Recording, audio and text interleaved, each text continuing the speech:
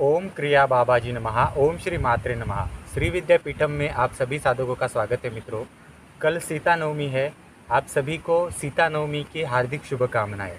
आज का ये जो लेक्चर है, वो सीता, माता सीता जो है, उनके बारे में है।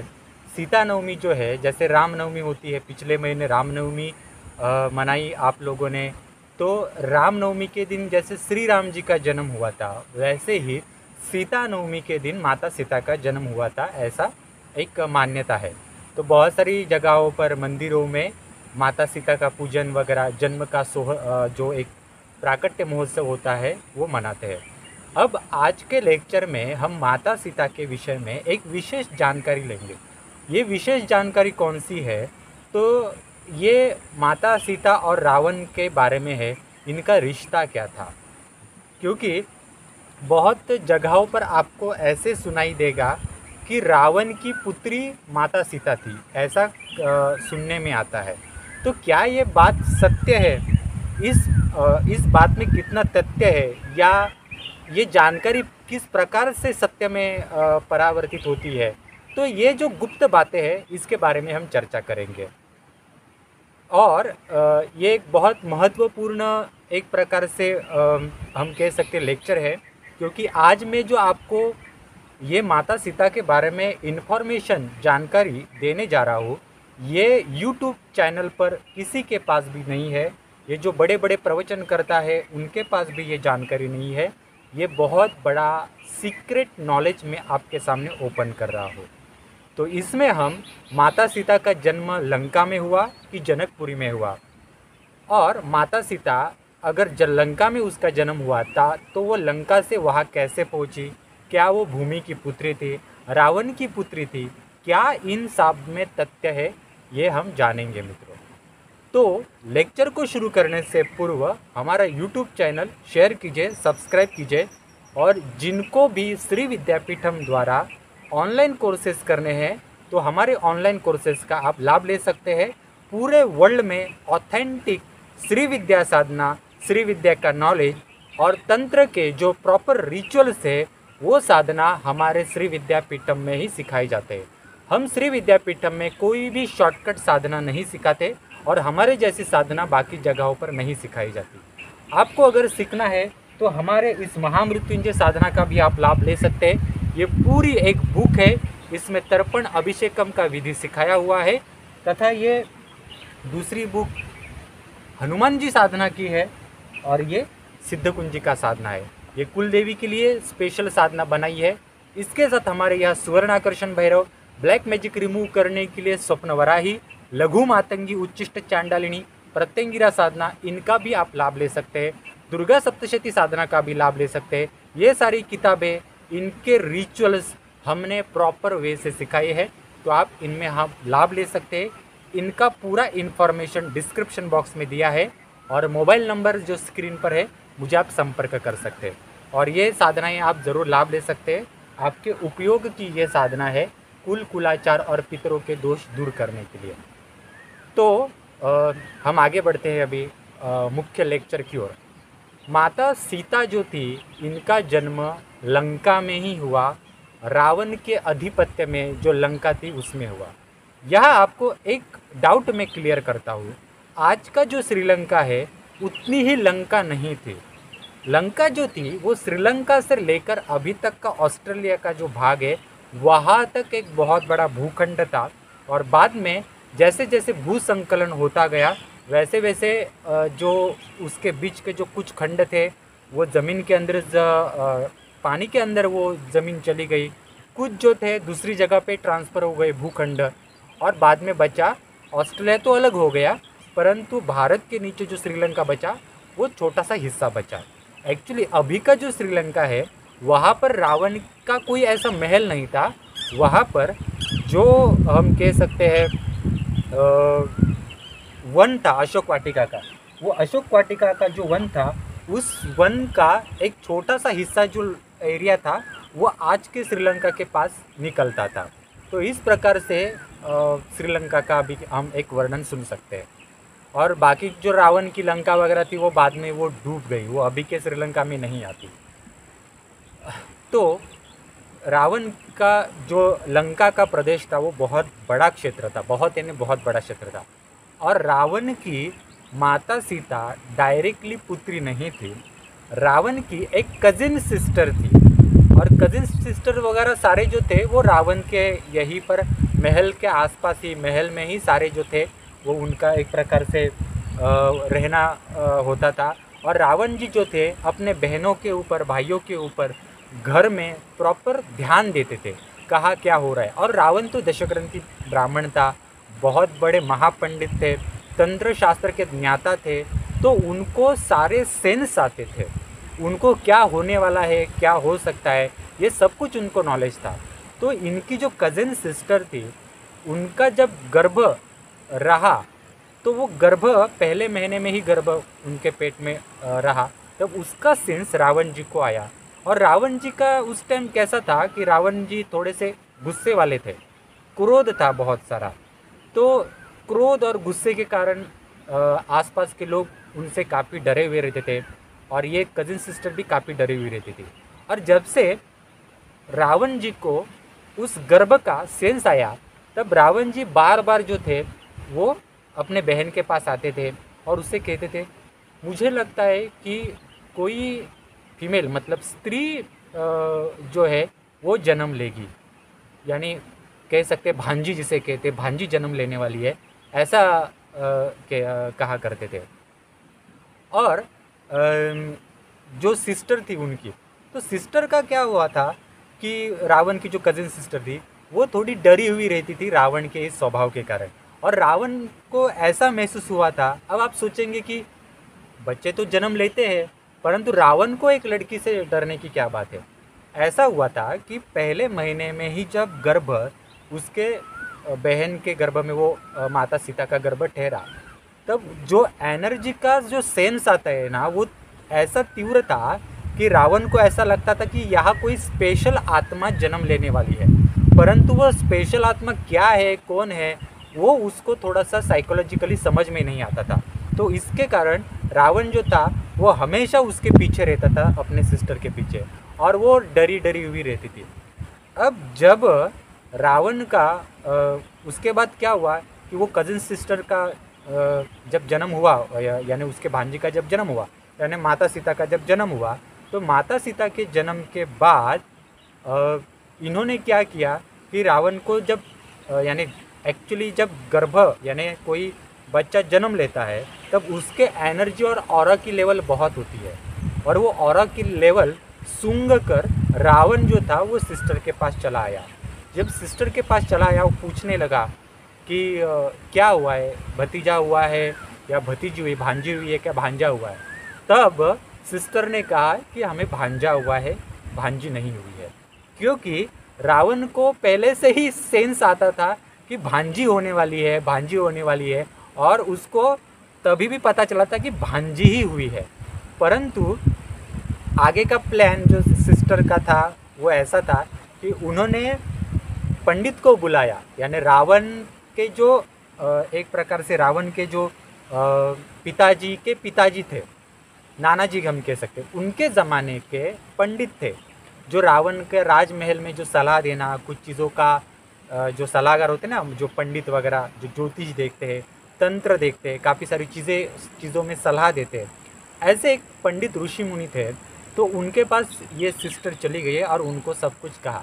तब उन ऋषि ने उनको सलाह दी कि एक पिटारा बनवाओ तो पिटारा उन्होंने ही बनवाया। उस पिटारे में माता सीता को रखा गया और वो जो ऋषि थे, उन्होंने अपने मंत्र शास्त्र के द्वारा ये पिटारा ज़मीन के अंदर गाड़ कर एक ज़मीन से किसी दूसरे ज़मीन की ओर निकल जाए और किसी दूसरे राज्य में किसी दूसरे अच्छे व्यक्ति को ये पिटारा और माता सीता का ये जो बच्चा है, ये मिल जाए, जो बच्चे के रूप में जो माता सीता थी, वो किसी अच्छे व्यक्ति को मिल जाए और तब तक उस पिटारे में ऑक्सीजन प्राणवायु अच्छी तरीके से रहे उस बच्चे को ज़िंदा रहने के लिए। उस प्रकार से मंत्र के द्वारा क्रिया करके रखी थी। तो उस उस नियोजन के अनुसार वो बच्चा पिटारे में रखा जाता है। पिटारा लंका के ही ज़मीन में दफन करके उसको दूसरी ओर लेकर जाता है। तब अब रावण को क्या है कि रावण को शक होता है। अब उसको देखना होता है कि उसको भतीजा हुआ है कि भतीजी हुई है। तभी लंका में से ही किसी बच्चे को ये कुछ समय के लिए ये रावण की सिस्टर है, वो दत्तक के रूप में उसको लाती है। एक एडॉप्शन या कह सकते हैं कुछ समय के लिए तो लाती है। और रावण को दिखाती है कि ये तुम्हें भतीजा ही हुआ है, भतीजी नहीं हुई है। और हमने भगवान से मन्नत ही ऐसी मांगी थी कि हमें भतीजा क्या कह सकते हम, हमें पुरुष ही चाहिए, यानी बच्चा ही चाहिए, बच्ची नहीं चाहिए। और अगर हमें बच्चा हुआ तो हम वनवास में रहेंगे, वन में रहेंगे, ऐसे हमने मन्नत ही मांगी थी। और उसी प्रकार से हम वन में जा रहे हैं। परंतु रावण ने उनसे कहा कि तुम वन में क्यों जा रही हो? तुम्हें बच्चा हुआ है तो। तुम चाहती हो तो बच्चे को मेरे यहाँ रख दो। मैं उस बच्चे को भांजे को, अपने भांजे को अच्छी शिक्षा वगैरह देता हूँ, बड़ा करता हूँ। तुम चाहे तो अपनी मन्नत पूरी करने के लिए वन जाओ। परंतु उन्होंने कहा, नहीं, हमने मन्नत ही ऐसी बोली थी कि हम बच्चे को लेकर ही जाएँगे। तो रावण भी कुछ कर नहीं पाए। तो रावण की वो जो सिस्टर यानी माता सीता की जो माँ थी, वो माँ, उनके पिता, ये दोनों ने लंका छोड़ी, वन में गए। जो बच्चा उन्होंने कुछ समय के लिए एडॉप्ट किया था, उस बच्चे को ओरिजिनल उसके माता पिता को दे दिए और वो वनवास के लिए निकल गए और उन्होंने लंका बाद में छोड़ दी गई क्योंकि रावण को थोड़ा भी शक होता तो रावण उस टाइम बहुत गुस्से वाले थे। और रावण जी के इस गुस्से को और क्रोध को बहुत डरते थे ये सारे लोग। इसलिए उन्होंने बाद में लंका छोड़ दी। अब उसके बाद क्या हुआ कि ज़मीन के अंदर जो पिटारा गड़ा हुआ था, वो सीधा पहुँच गया जनकपुरी में। उस टाइम जनकपुरी में जो राजा जनक थे, वो राजा जनक हल बोत रहे ये कर रहे थे खेती में। तब हल को एक पिटारा लग गया और भूमि से वो पिटारा ऊपर आ गया। अब यह कहते हैं कि वो भूमि पुत्री थी, भूमि से निर्माण हुई। ऐसा नहीं है मित्रों, ये स्टोरी इस प्रकार से बनती है। अब आपको समझ में आ गया, ऐसे भूमि अचानक से बच्चा पैदा करके किसी हाथ में नहीं रख सकती। तो वो जब पिटारा ऊपर आया, उस पिटारे को देखा, तब उसमें एक बच्ची थी, वही माता सीता थी। और राजा जनक जो थे, उनकी पहली पुत्री के रूप में प्रथम पुत्री माता सीता बनी और माता सीता के बाद और माता सीता को तीन बहनें थी। उसके बारे में आपको बाद में बताता हूँ। तो माता सीता को तीन बहनें थी। माता सीता इस प्रकार से हल को लग के वो पिटारा ऊपर आ गया। यहाँ पर जो हल है, वो लक्ष्मण जी का प्रतीक है। लक्ष्मण जी के हाथों में, जो लक्ष्मण जी महाभारत द्वापर के युग में बलराम जी बने वही लक्ष्मण जी, वही बलराम जी उन्हें शेषनाग कहा जाता है। उनका मुख्य अस्त्र है हल और हल के द्वारा ही ये पिटारा ऊपर आ गया और माता सीता का एक प्रकार से प्राकट्य जो जनकपुरी में हो गया। आप सोचेंगे, कभी आपने सोचा है क्या कि ये टीवी में भी जब रामायण दिखाते हैं ना कि पिटारा ऊपर आया जनक जो थे वो हल वो ये कर रहे थे, जोत रहे थे। एक राजा हल क्यों जोतेगा? उस टाइम क्या था मित्रों? जनकपुर जो था ना, उस टाइम जनकपुर में, यानी जनकपुर ये कोई ऐसा छोटा सा हिस्सा नहीं था। एक बहुत बड़ा राज्य था, बहुत बड़ा साम्राज्य था। उस टाइम जनकपुर में बारिश नहीं होती थी। जैसे जिसे हम दुष्काल कहते हैं अवर्षण कहते हैं, वैसे बारिश ना होने के कारण उस टाइम लोग जनकपुर में, जनक के अंडर जो काम करने वाले, यानी जो राज्य था जनक का, वो प्रजा थी एक टाइम का खाना ही खाती थी। उनके पास दूसरे टाइम का खाना खाने के लिए उतना अन्य धान्य का जो एक, ये था, उतना प्रोवाइडिंग नहीं था। तो इसके कारण राजा जनक भी जो थे, वो भी ज़्यादातर खेती में ही उस टाइम रहा करते थे और खेती में अपना ध्यान दिया करते थे और तभी ये पिटारा ऊपर आया था।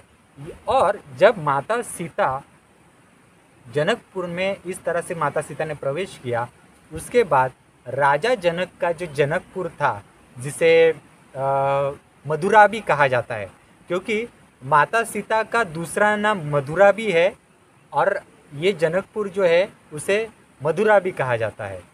तो ये जनकपुरी जो है, बाद में वहाँ बारिश होना शुरू हो गई, वहाँ अनाज आना शुरू हो गया और एकदम वहाँ कोई भी किसी चीज़ की कमी नहीं रही।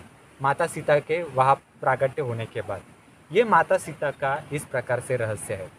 और माता सीता के माता पिता का क्या हुआ, ये भी मैं आज इसमें बताता हूँ।